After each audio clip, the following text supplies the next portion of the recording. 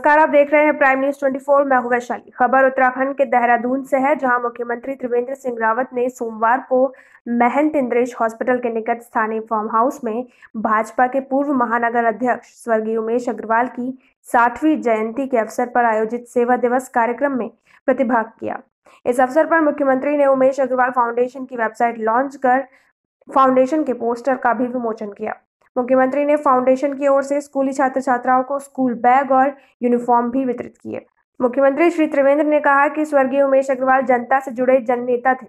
विभिन्न सामाजिक गतिविधियों में उनका योगदान रहा। अब उनके पुत्र समाज सेवा की दिशा में आगे बढ़कर स्वर्गीय उमेश अग्रवाल के कार्यों को आगे बढ़ाने का कार्य कर रहे हैं।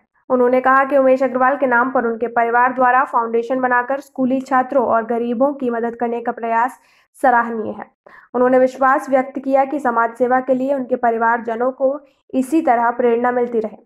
मुख्यमंत्री ने कहा कि समाज सेवा के लिए सभी को आगे आने की ज़रूरत है।